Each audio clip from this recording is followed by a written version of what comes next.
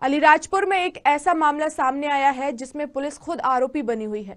करीब एक माह पहले से गायब बेटी की तलाश कर रहा पिता पुलिस अधीक्षक कार्यालय पहुँचा, जहाँ उसने पुलिस अधीक्षक से मदद की गुहार लगाई और सोनवा थाना प्रभारी पर आरोप लगाते हुए कहा कि पुलिस उसकी मदद नहीं कर रही है। उसकी बेटी को आरोपी बहला फुसलाकर अपहरण अपहरण कर ले गया।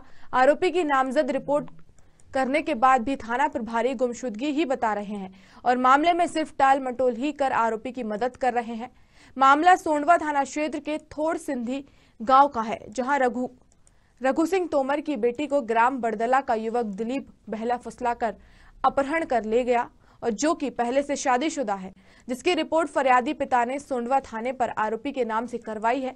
लेकिन थाना प्रभारी ने एफआईआर में लड़की की गुमशुदगी की डाली और जब भी परिजन थाने पर जाकर बेटी की जानकारी मांगते हैं तो टीआई साहब टाल मटोल कर उन्हें वहाँ से भगा देते हैं।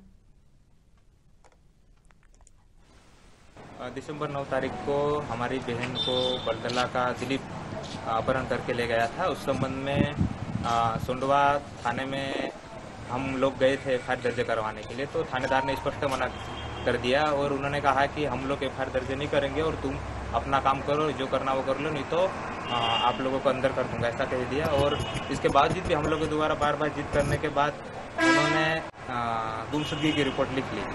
और उसके बाद हम लोग लगातार थाने में भी संपर्क किया। तो उनकी तरफ़ से जवाब आया कि आप लोग पता करके बताओ, फिर इसके बाद हम ढूंढेंगे, ऐसा उन्होंने कहा। तो इसके बाद हम लोग अभी 12 तारीख को एसपी सर के पास आए थे, आवेदन दिए थे।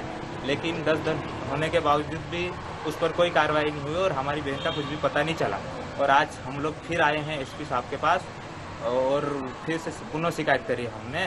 तो एसपी साहब ने आश्वासन दिया है।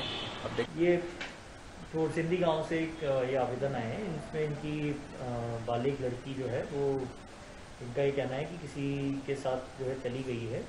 उसमें थाने सोनवार पे इसमें गुमशुदगी उसकी पंजीबद्ध है और इसमें हम लोग तलाश कर रहे हैं। जल्दी इसको दस्तियाब कर दिया जाएगा।